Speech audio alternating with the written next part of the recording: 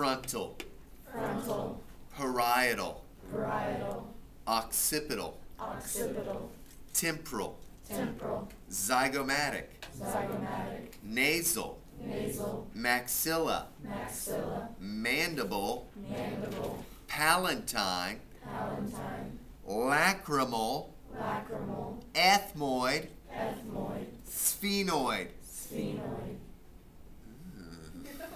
That was good. All right. Sternum, sternum, manubrium, manubrium, body, body, xiphoid process. xiphoid process, Sternum, sternum, rib. rib, The flat end attaches to the cartilage. The bumpy end attaches to the vertebra. So when I say the flat end attaches to the, you just say cartilage. I say the bumpy end attaches to the, you say vertebra. Flat end attaches to the, cartilage, the bumpy end attaches to the. vertebra, Gosh, you're good, okay? There's three different kinds of vertebra. The first kind is called cervical. cervical, The second kind is called thoracic. thoracic, The third kind is called lumbar. lumbar, When I say cervical, you say seven. Cervical, seven, cervical. seven, I say thoracic, you say 12. Thoracic, twelve, thoracic. twelve, I say lumbar, you say five. Lumbar, five, lumbar. five, Good. Why did I have you say those numbers? That's how many there are. Humorous. Humerus, Nothing to laugh about. Humorous. Humorous. Radius. radius, Radius. radius, Ulna. ulna, Ulna. ulna, You notice the ulna because it's got a U right there. See the U? Clavicle, clavicle, also known as the collarbone. Okay? The blunt end is the sternal end. The flat end is called the acromial end. Okay? The blunt end, sternal. Blunt end, sternal. flat end, acromial. Flat end, acromial, oh man, you guys are Okay? Scapula. scapula, saying that like I'm Melissa Graham. Just kidding, Melissa. Wherever you are. There you are. Not really. Next period. No, fifth period. Some period. Scapula. scapula, Scapula. scapula, Also known as the shoulder blade. I thought you were going to say shoulder blade. you don't know. I don't want you to. Okay? This little part is called the coracoid process. coracoid Let's try that one. That's a tough one. Coracoid process. Coracoid process. This part is called the acromion. Acromion. Acromion. Acromion. Look, these two things fit together nicely. Okay, what's that shoulder area called? Baseball players, you have some sometimes some troubles with that, huh? Rotator cuff, absolutely. It's a bummer. Sacrum, Sacrum. coccyx, Coccyx. sacrum, Sacrum. coccyx. Coccyx. What's this also known as? Tailbone. Tailbone, right? Can you break it?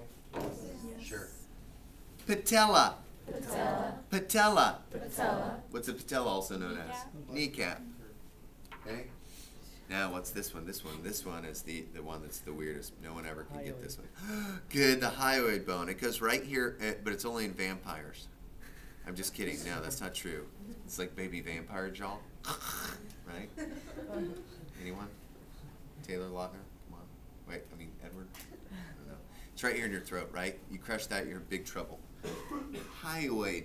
Hyoid. Hyoid. Hyoid. Hyoid. Hyoid. Good. Femur. Femur. Femur. Femur. Okay.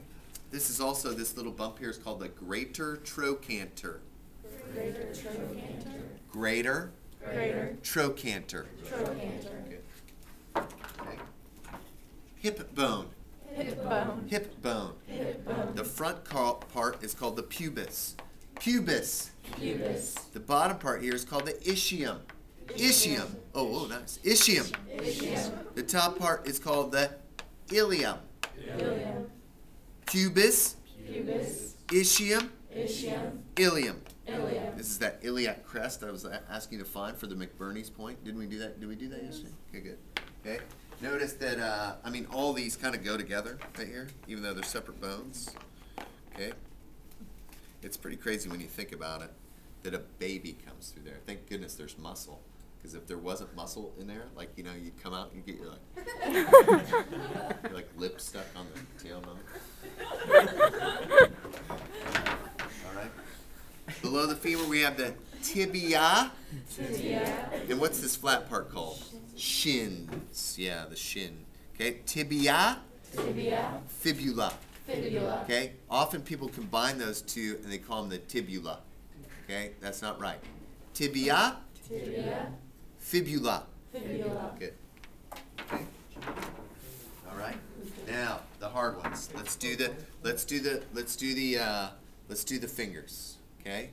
All right. These are called phalanges. Phalanges. Phalanges. Phalanges. Metacarpals. Metacarpals. Okay. Now these are the tough ones. So I'm not going to point to them because they're hard, but I'm going to give you something to remember them by. Okay. It's a phrase.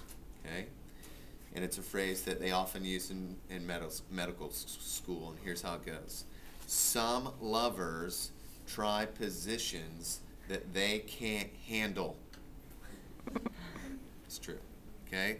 Let me tell you what that stands for. I'll say the word, you say it next. Okay? Scaphoid, Scaphoid. lunate, Lunate. triquetrum, Triquetrum. pisiform, Pisiform.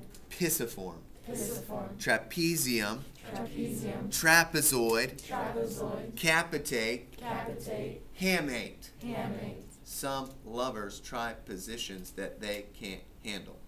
Someone also said um, you can go like the other way, start with the try positions that they can't handle. And so they said, try to castrate hogs, simply lift the penis. Although funny, you don't really lift a penis of a hog to castrate it, uh, but it works. Okay? All right? Now let's go last but not least to the foot. Your toes are also called phalanges, okay? Phalanges. Phalanges. Metatarsals. Metatarsals. Cuneiforms. Cuneiforms. Cuboid. Cuboid. Navicular. Navicular. Talus. Talus. Calcaneus. Calcaneus. You did it. Give yourselves a round of applause. That was phenomenal. That was like four million times better than I thought it would go.